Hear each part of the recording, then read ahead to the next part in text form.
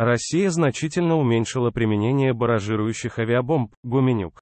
Российские военные в последнее время значительно снизили применение баражирующих авиационных бомб по территории Украины, об этом заявила руководитель Объединенного пресс-центра оперативного командования «Юг» Наталья Гуменюк, пишет РБК Украина со ссылкой на «Радио НВ».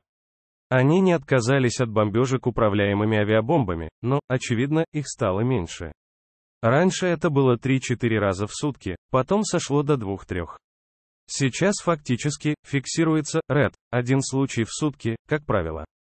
Скорее всего, все это связано с тем, что эти управляемые авиабомбы они переустраивают из устаревших авиабомб, предоставляя им крылья, как говорится, для того, чтобы эти бомбы работали так, чтобы невредимыми оставались самолеты, рассказала Гуменюк. Она объяснила, что сложность состоит в том, что самолеты, которые выпускают эти управляемые авиабомбы, не приближаются к зоне поражения украинской системы ПВО, нам нужна не только наша авиация, которая также могла бы и уничтожает вражескую авиацию, а еще и достаточно мощные, иностранные, РЭД, средства ПВО, которые помогли бы нам также уничтожать самолеты на большем расстоянии, чтобы снять это напряжение с воздуха, заявила Гуменюк. Пока россияне еще не могут вернуться на те или иные позиции из-за высокой воды, они пытаются применять и баражирующие боеприпасы, и авиацию. Какая ситуация на фронте? Согласно данным Генерального штаба, враг в настоящее время сосредотачивает свои усилия на Лиманском, Бахмутском, Маринском направлениях. За прошедшие сутки произошло 46 боевых столкновений. Срочные и важные сообщения о войне России против Украины читайте на канале РБК Украина в Телеграм.